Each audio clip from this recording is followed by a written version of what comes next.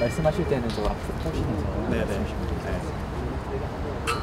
일단 뭐 무조건 근육 부상이죠. 이제 아무래도 이제 경기나 훈련 상황에서 이제 뭐 부딪히거나 발목이 삐거나 이런 상황은 좀 불가항력적인 거는 어쩔 수 없는데 진짜 혼자서 그 근육 부상을 예방하기 위해서 선수들이 소집 처음 했을 때 평가를 했어요.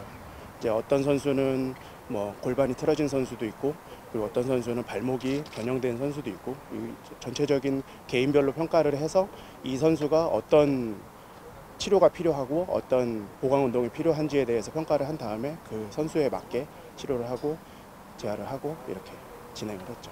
그 일단 뭐 선수들이 지쳐 있는 건 사실이에요. 많이 근육도 많이 피로해 있고 정신적으로도 많이 지쳐 있지만 지금 성적도 좋고 서- 팀 분위기가 너무나도 좋기 때문에 지금 그 팀 분위기에 맞춰서 좀 선수들이 지금까지 해오던 대로만 하면은 뭐 부상도 없을 것이고 성적도 다 자연스럽게 뒤따라올 것 같습니다. 이번 20세 대표팀을 맡게 되면서 이제 그 목표가 하나 있었어요. 선수들이 무조건 쥐가 나서 경기 중에 나오는 근육이 안 좋아서 경기 중에 나오는 또는 훈련을 열애하는 이런 이런 불상사는 제로로 만드는 게 제가 목, 목표였거든요. 근데 지금까지 제가 계획했던 대로 진행을 했고 지금 결과도 제가 계획, 계획했던 대로 너무나도 잘 진행돼, 진행됐기 때문에 지금 결과도 너무 좋기 때문에 저도 그거에 가장 주안점을 뒀어요.